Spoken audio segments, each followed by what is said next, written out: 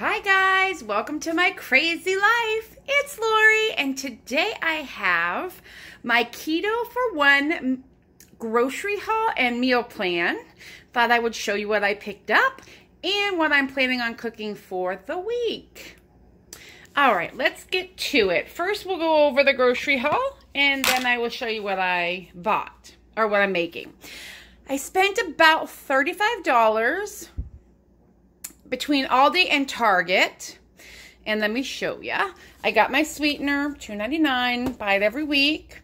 Three creams, that's to be part of my dinner. I got a dozen eggs, they were 88 cents. Um, two bricks of cheese, these were $1.69. They get cut up with the salami. I bought another one of these. I'm really liking these guacamole singles. And the thing for me, I'm going to spend a little more, but I have less waste making my own, which I totally could do, it doesn't stay fresh as long. And so I end up wasting money in the long run. So these little six mini cups stay fresh in my fridge. So I grabbed some more of those because I really like them. Pork rinds for breading for my, one of my meals and eat with the guacamole. I picked up some vinegar actually at the Dollar Tree for cleaning. I picked up some Parmesan cheese for part of my dinner. I got two radishes. This week, I think I'm going to cut them up and just eat them raw. I've been really craving like raw veg. Um, some ibuprofen, buck 99 for 100 tablets for my shoulder because that's what you do when you hurt. right. And a small spaghetti squash to go with my dinner as well. Now, my big deal of the week, oh, I'm so excited. Actually, there's two, but one is already cut up in the freezer um, at Target. I got a whole smoked ham, uh, $11 ham for $5 with a cartwheel offer. So I cut that up into three portions, and that'll be talked about here in a minute. And then yesterday, I picked up these fresh cuts, thin sliced chicken breast. This is vegetarian fed, no animal byproduct, raised on, uh, they're cage free, no hormones, no steroids, no antibiotic. This is some very clean chicken. Um, I paid 71 cents for this package. And I paid 71 cents for this package. A dollar 31 and a dollar nine. So less than five dollars. And I've got about four pounds of organic chicken breast, thinly sliced. So what I'm going to make with this is some chicken parm. I'm going to bread them with some ground pork rind and add some ground up Parmesan cheese to it and some spices and seasonings and bake it and then serve it over spaghetti squash with a little bit of tomato sauce that I already have on hand. So that's one of my meals for the week. Um, let's pull this out. Sorry, my arm is hurting today. All right, so my meal plan. Hard-boiled eggs for breakfast along with sausage and egg bake, which is at the bottom.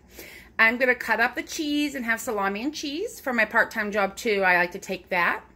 I'm going to make cheesy riced cauliflower with ham chopped up in it and make like a casserole out of that. And then the chicken parm with spaghetti squash. That will be plenty for the week for breakfast, lunches, and dinners. And it was all, plus what I have on hand, for about $35.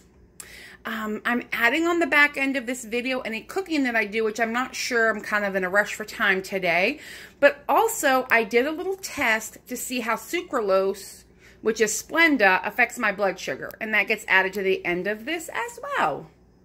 But there's my haul for today, guys. I'll be back.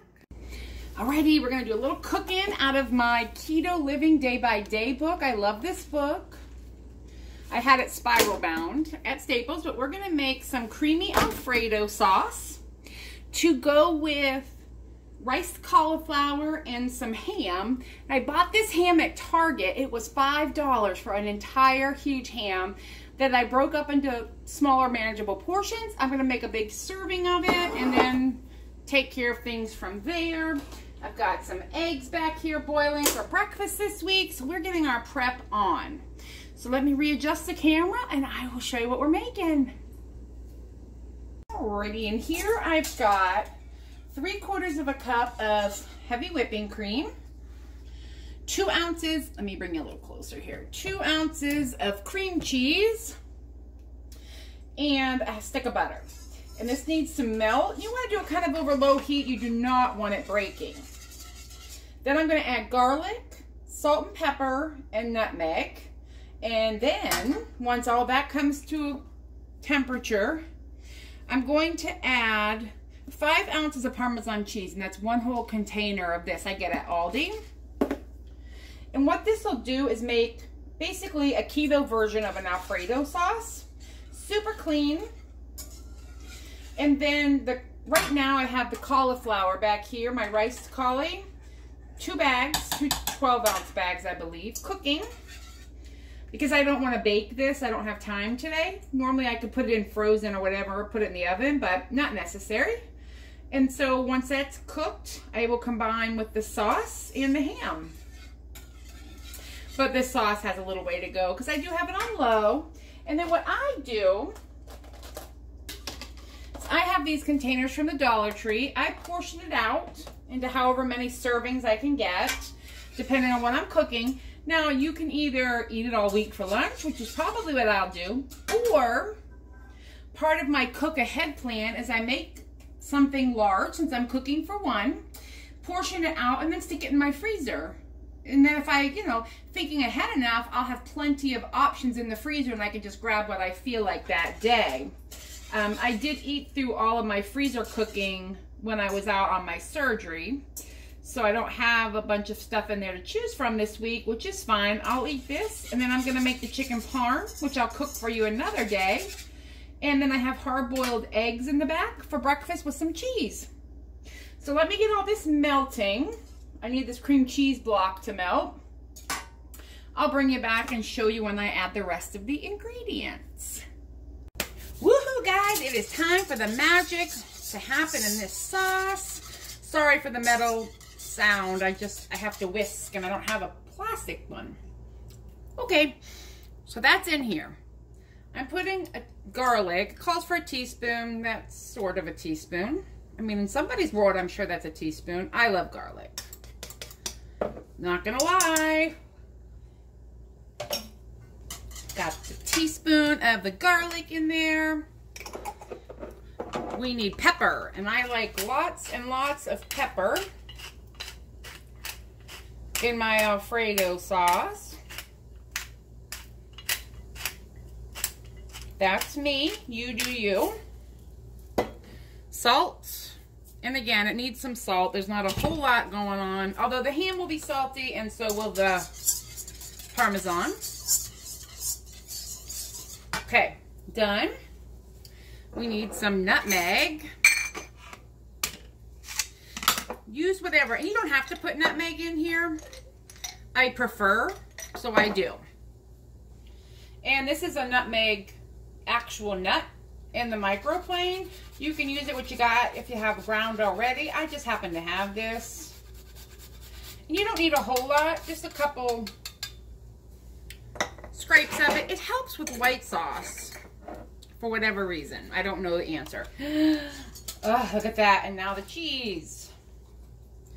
And all we want is for this to melt. My cauliflower looks done, but do you see what's happening? And it will take a few minutes. I'll get a different spoon out here in a sec. Takes a few minutes for all the cheese to melt into the cream in this situation, I don't know if I would use the powdered. I guess I've never used the powdered. I buy this Parmesan at Aldi, and it, it was $1.99.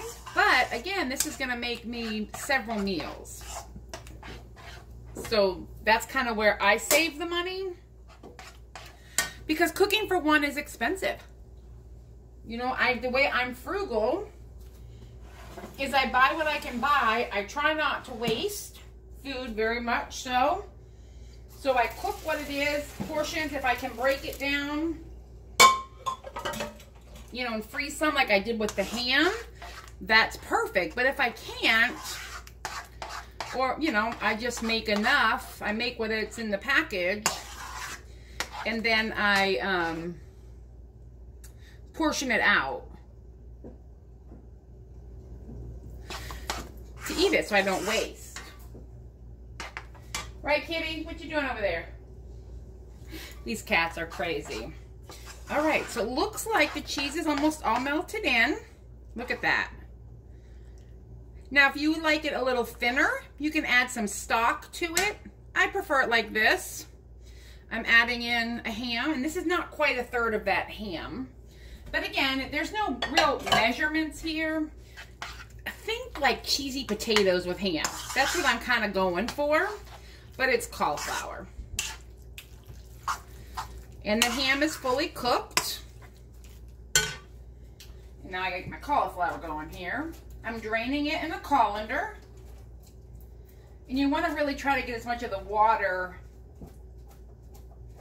out as you can.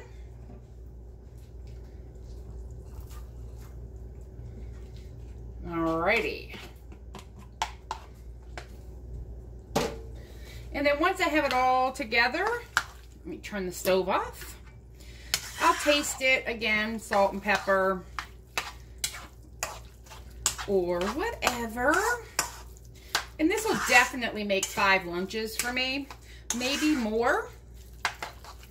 And then I just, like I said, freeze it and have it another day.